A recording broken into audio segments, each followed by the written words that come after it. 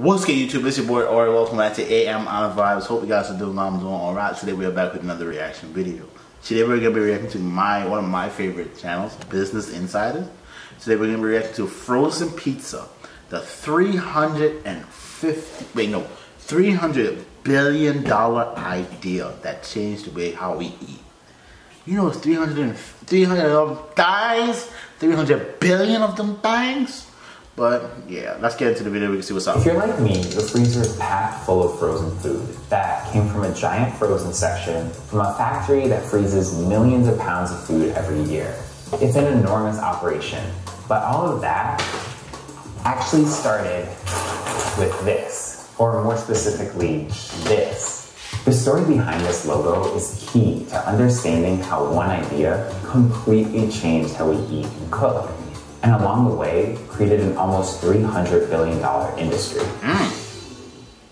But to understand how we got this, we have to go back to the early 20th century. Before frozen foods, frozen diets in the US looked a lot like this. They were very meat and potatoes. And I knew this kid looked super excited, but it was often really bland. To get meat, people would go to a quaint butcher shop like this one from 1910 and they go to a small, often mom and pop grocery store like this one. You'd actually bring a list and the worker would pick out your items for you. I'm not sure why this lady looks so displeased with that artichoke though. But anyway, people could keep food cold, but not really frozen. You had an ice box, but ice boxes were minimally functional. They tended to be smelly, they could create mold. Frozen food at the time actually had a really bad reputation. Is that right? Because it was frozen at temperatures that weren't actually that cold, it sometimes took a day or longer to freeze. This formed large ice crystals, which ruined the taste oh. and texture. Oh. Basically, the quality was terrible. But soon, that would all change, thanks to this guy, Clarence Birdseye. He invented what we think of as frozen food, and it totally changed the way we eat. I find Clarence Birdseye fascinating. He was always inventing things, and he actually has over 100 patents. Here's a photo I printed out of him working on a food dehydrator. And kind of a real, like, 20th century vibe. The editors of his college yearbook actually wrote this quote next to his photo. I don't even know how to say this. I ain't afraid of bugs or toads or worms or snakes or mice or anything. Interestingly, he never actually graduated from college. Birdseye spent several years working in Labrador in northern Canada, where he observed Inuit fishermen freezing fish in the frigid outdoors. The fish froze so quickly, they actually retained their taste and texture. So, like any good inventor, Birdseye engineered a machine that would replicate this process, quickly freezing small quantities of food between two super cold metal plates. The plates were later swapped for belts, which was more efficient. The machine used temperatures as cold as 50 degrees below zero, and the food was pre-packaged in insulated containers. Birdseye called his product frosted food to differentiate it from low-quality frozen food. Now, obviously Birdseye didn't invent the concept of frozen food, but he did figure out a way to mechanize its production. And it worked great. In 1932, the New York Times described the process as a scientific miracle having food ready without any laborious preparation. Bird's eye peas, sweet as the moment, sweet as the moment when the pop went pop. But there was just one problem. Pretty much no one had a freezer. And I mean no one. When some families did start to get electric refrigerators around the 1930s, it was a really new concept. Sliding shelves, too. A marvelous convenience. But it wasn't just homes. Retailers didn't have freezers that could keep frozen food from thawing, reportedly failing to keep temperatures much under 40 degrees Fahrenheit. And retailers were also skeptical about this new product. One industry analysis showed that customers not only did not demand quick frozen foods, but probably had never heard of them. Changing how millions of people eat was a daunting task, and Birdseye's company was running out of money. So in 1929, Birdseye sold his patents and company to Postum for $23.5 million. What? over $350 million today. Now, all of that money didn't go directly to Clarence Birdseye, oh. but he did make around a million dollars from it. And he That's also it? really liked frozen foods oh, because oh, he stayed on at the company as a consultant. Birdseye needed to figure out how to sell frozen food, but he also literally needed to figure out how to sell it. Distribution was cited as the quick frozen food industry's most serious problem. So, the most serious solution? The company would not only make the food, but also the freezers and the trucks, then lease hundreds of them to retailers as a proof of concept for frozen food. And it worked. It demonstrated that it could be a popular product. By the end of 1937, 2,000 stores carried Birdseye frozen food. To market frozen food, Birdseye focused on its freshness and convenience, advertising peas as gloriously green as any you will see next summer. Yes, Birdseye peas are as sweet as that because they're freshest picked, freshest frozen. And this entire cookbook was written just to advertise all the ways you can use frozen food. And there's some real gems in here. Like there's one for French fried asparagus, and this thing called a jellied salmon loaf. But there still wasn't a big need that frozen foods filled. In 1937, it was estimated that only around 23% of homes had electric refrigerators. And according to American Heritage, in 1945, Americans still bought less than two pounds of frozen food apiece. For context, I have like 15 pounds right now. But Clarence believed in frozen food. That same year, he told the Washington Post, I believe we'll see a phenomenal increase in the demands for both home and commercial use. he ain't lying.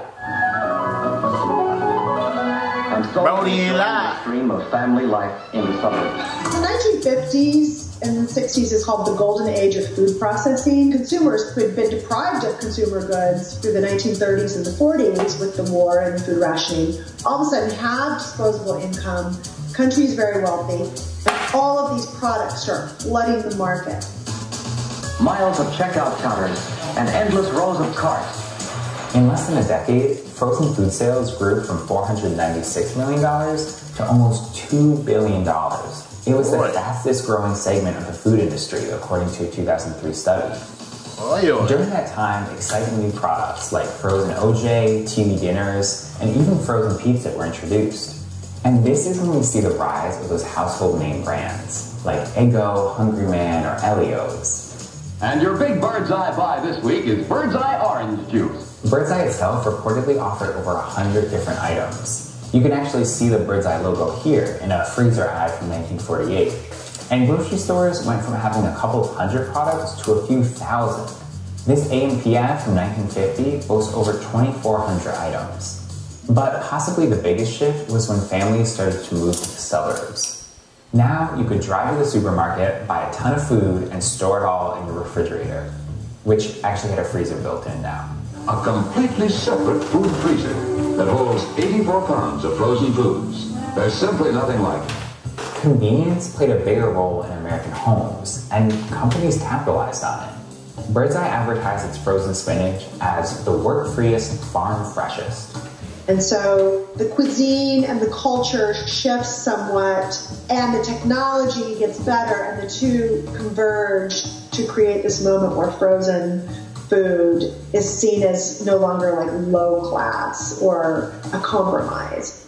In 1955, the New York Times wrote Frozen foods are no longer a specialty item, but an integral part of the grocery business. And about a decade later, the microwave made things even more convenient.